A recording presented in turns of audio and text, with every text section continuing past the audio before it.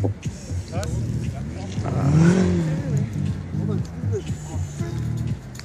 in the way. I don't want to get somebody's way.